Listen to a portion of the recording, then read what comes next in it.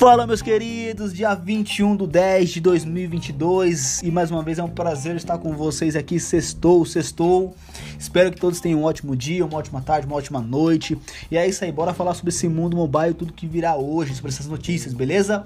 Peço por favor, comente, curte, compartilhe, a gente tá aqui sempre à sua disposição para te servir da melhor forma possível, beleza? Bora, bora, bora para as notícias, foi!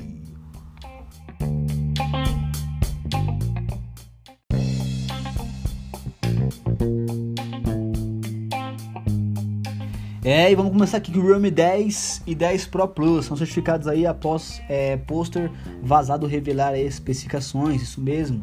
No caso aí, os dois aparelhos aí, o Realme 10, ele vai vir aí certificado com o nome aí de RMX3680. Realme 10 Pro Plus 5G virá com o nome aí de RMX3686. Certificados aí, no caso pela FCC, beleza? Bora para mais.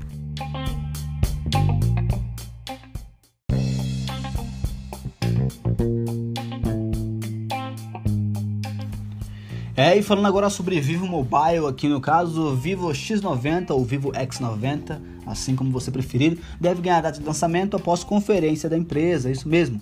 A Vivo ainda não confirmou uma data específica para o lançamento do X90, é, mas isso deve mudar em breve, isso porque a companhia deve realizar uma conferência no dia 24 de outubro, beleza? Dia 24 de outubro, para anunciar a sua estratégia no mercado foto, é, de fotografia. É, então, a chinesa, no caso, deve apresentar ao mundo o chip de imagem proprietária Vivo V2, ou seja, aquele que será usado na linha X90 ou X90.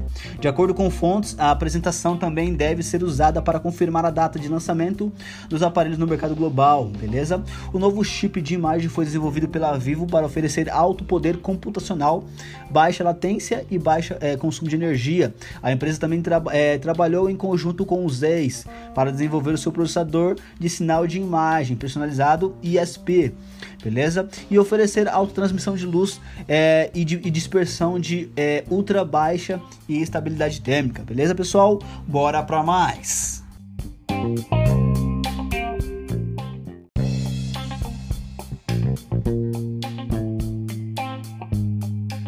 Falando aqui agora sobre Samsung, imagens reais aí antes do lançamento na China, isso mesmo, Samsung W23 5G surge aí né, em imagens reais antes de seu lançamento na China. Faltando poucas horas aí para o lançamento oficial, o Samsung W23 5G surgiu em imagens reais na rede social chinesa.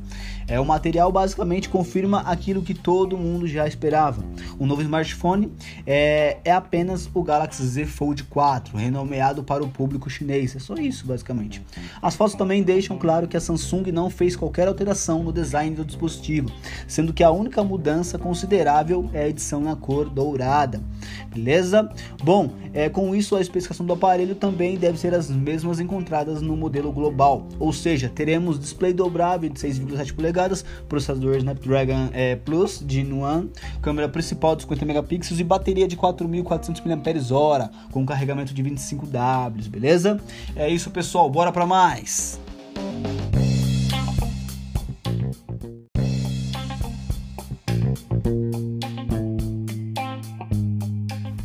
Bora falar aqui de mais um vazamento também, agora Honor, isso mesmo, Honor 80, 80 Pro e 80 Pro Plus, especificações no caso surgem em novo vazamento.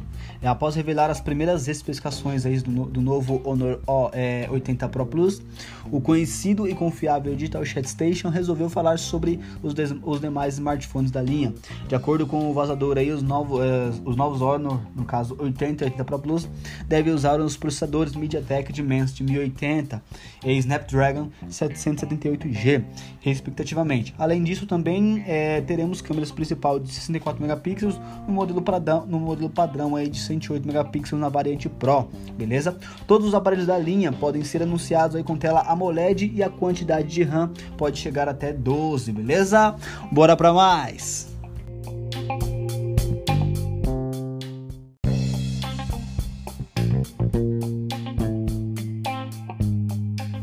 Falando mais aqui sobre Vivo, agora Vivo S16 tem seus primeiros detalhes revelados em vazamento. No caso, no início do mês aí, um informante chinês alegou que a, é, que a Vivo não lançaria a linha Vivo S16 na China neste ano.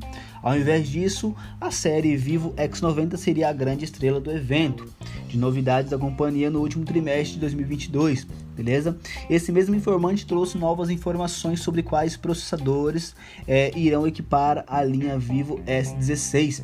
Segundo, é, segundo vazamento aí, a linha Vivo S16 seria composta pelos modelos S16e, S16 e S16 Pro. O informante alega que o S16e virá com o recém-anunciado chipset Dimensity, é, no caso 1080 da MediaTek, enquanto o S16 viria com o Snapdragon 870 da Qualcomm.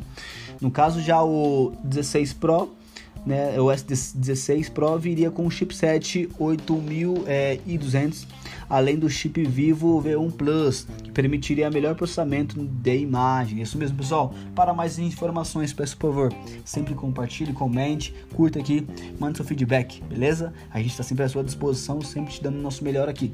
Bora para mais!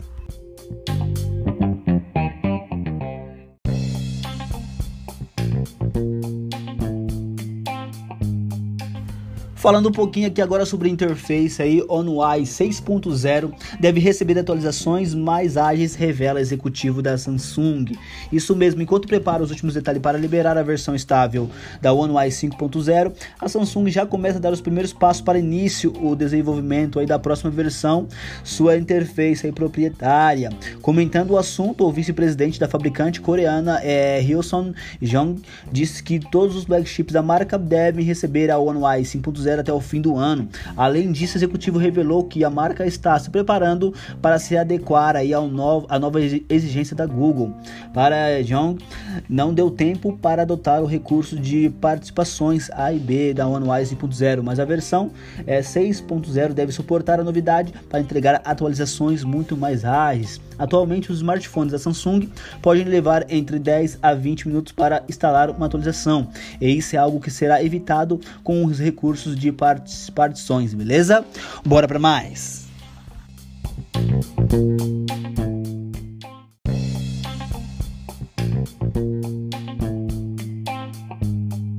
Falamos aqui agora sobre Galaxy A54. Bom, vamos lá. Esse, esse aparelho, no caso, pode ter bateria um pouco maior é, que a do antecessor aí de esvazamento. Isso mesmo.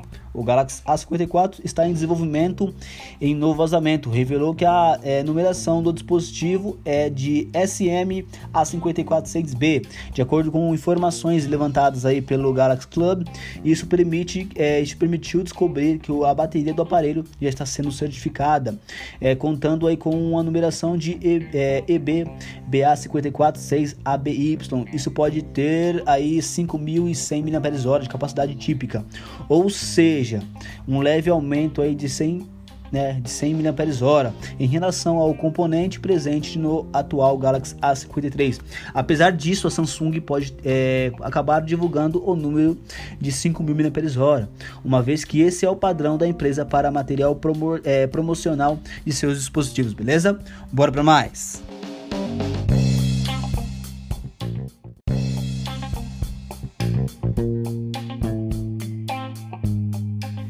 É, e bora falar aqui sobre Apple, mais problemas aí. Face ID apresenta problemas no iOS 15.7.1 e não funciona em alguns é, iPhones aí. Eita, Apple, bagaceira.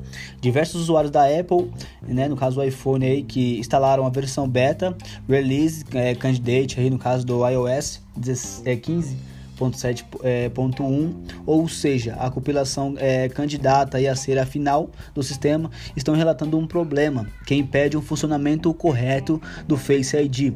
De acordo com relatos aí publicados é, no fórum Reddit e no, e no Twitter, os modelos é, iPhone 12 Pro e 13 Pro são os mais afetados pelo bug. Contudo, outros dispositivos, inclu é, incluse, é, inclusive aí de gerações anteriores, que também possuem Face ID, podem estar sendo afetados, beleza? Esperamos que a Apple né, resolva isso quanto antes, entendeu?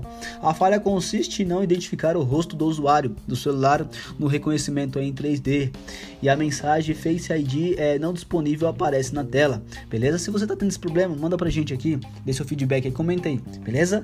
Bora pra mais!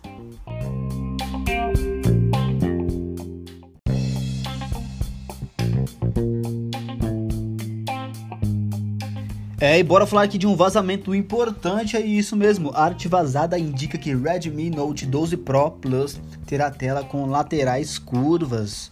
Uau, onde nós vimos isso já? Hein? É isso aí.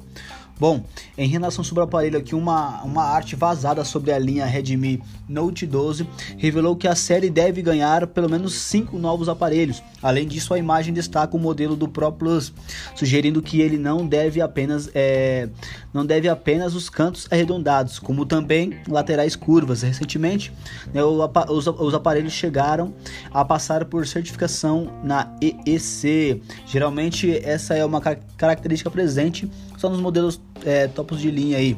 Então é uma grande novidade da parte de Xiaomi, né, trazer esses detalhes visuais para os aparelhos intermediários.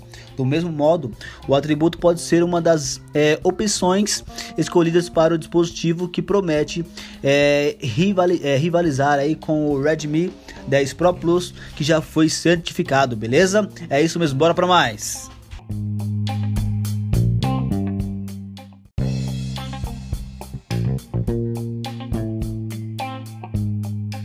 Bom, meus queridos, e por hoje é só. Agradeço mais uma vez a cada um de vocês por estarem sempre com a gente interagindo, sempre curtindo, sempre compartilhando, né? Sempre aí nos ajudando, tá bom? É um prazer servir vocês, beleza? Podem sempre estar mandando e sempre estar contando conosco, beleza? E desejo a todos vocês um ótimo final de semana, que Deus os abençoe. Tamo junto, pessoal. Valeu, até mais. Fui!